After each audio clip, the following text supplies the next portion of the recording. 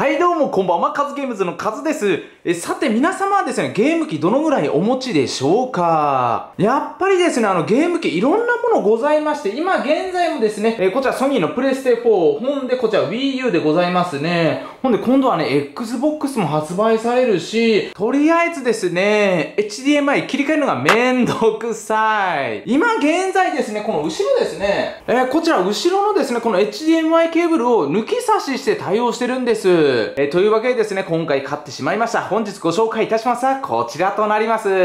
はい、こちらですね、えっ、ー、と、グリーンハウスの HDMI セレクター3でございます。まあ、とりあえずですね、安いから買ったんですけども、今回ですね、あの、3入力に対応しておりまして、それぞれですね、あの、自動で切り替えしてくれるとのことです。えー、そんでもちろんですね、えっ、ー、と、フルハイビジョン対応、ディープカラー対応となっております。あ、AC アダプターもいらないんだ、これ。えー、プレステ3対応と書いてありますけども、多分プレステ4でも使えるでしょう。えー、では早速ですね、この中確認してみましょう。はい、説明書。リモコンの受講部。リモコン。はい、そしてこちらが本体となります。これ電源いらないってのがいいよね。えー、では実際にね、差し込んでいきたいと思うんですけども、まずこれですね。えーと、これ。えー、これ自体は今テレビにダイレクトに繋がっております。えー、そんでケーブルもね、買ってきましたよ。まあ、あんまりですね、あの、長さは必要ないので、えーと、これはですね、HDMI の0.9メートル。えーと、ほらほらほらほら。なんか汚ねえな。はい、アマゾン印のものでございます。ただね、なんか先っちょ汚ねえんだけど、抜くとね、まあそれなりに汚れが取れまして、なんだろうね、これ油かなんかの茶色かな？まあとりあえずこちらはですね、約1000円となります。えー、ではですね、それぞれこちら Wii U とプレステ4の方に接続していきたいと思います。もうね、何も考えることはないんだよね。こいしょと。はい。うんなら、あとはですね、こちらそれぞれに差し込めばいいだけでございます。ピッと。はい。これでいいのかな？はい。とりあえずね、これで完成でございます。今、今入力切り替えにチャンネル合わせたんですけども、えー、とりあえずね、プレステ4、えっ、ー、と、電源入れてみましょう。ポイッと。さあ、どうだ？来るか？来るか？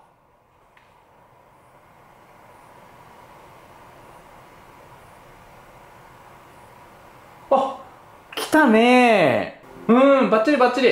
なね、ちょっとね、えーと、プレステ4の電源を切りますと。うんじゃ次はね、Wii U、Wii U の番ね、いきますよ。あ、バッテリーがね。はい、では今日取り直していきますよ。ピッと。どうなんだろう、自動認識だからね、電源ついた方に切り替わるみたいなんだけど、どう？あ、来ましたねはい、とまあこんな感じであの自動認識、あの電源のついたものですね。電源のついたものに自動的にパッと切り替わるようになっております。で、この状態でですね、えっ、ー、と、プレステ4を起動するとどうなるんだ？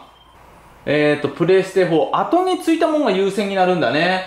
えっ、ー、と、こちら確認するとちょっと遠くだから見える、セレクトってボタンあるんだね。これを押すと、はい、こんな感じで切り替えることできるんですけども、えちょっとですね、こちら注意していただきたいことがございます。これですね、今言ったように後で電源投入すると自動に切り替わります。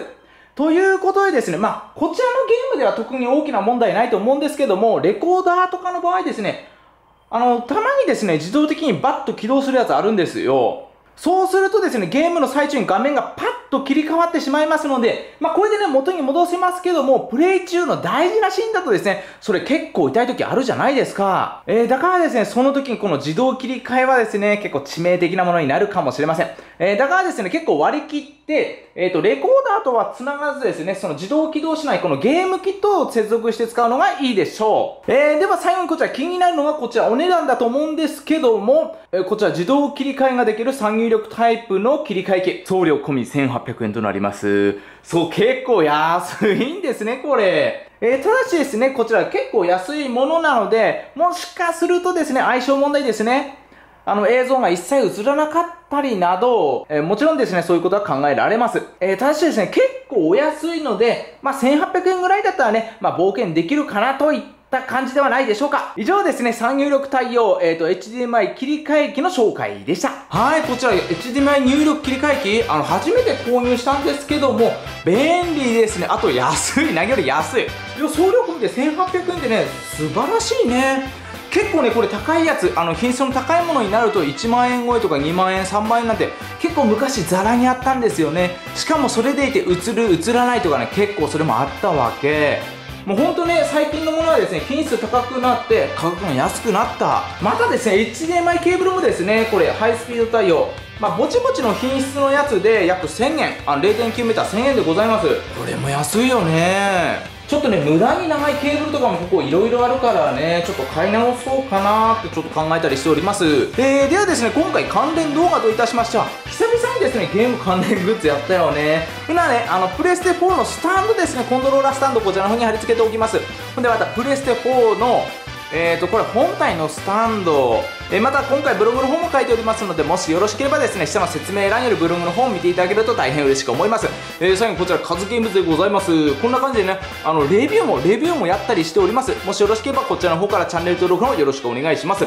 えー、またスマホの方はですね、下の説明欄にここら辺のリンクとか、登録ボタン、こちら登録ボタンございますので、そちらの方から登録の方よろしくお願いいたします。えー、ではまた次皆さんお会いしましょう。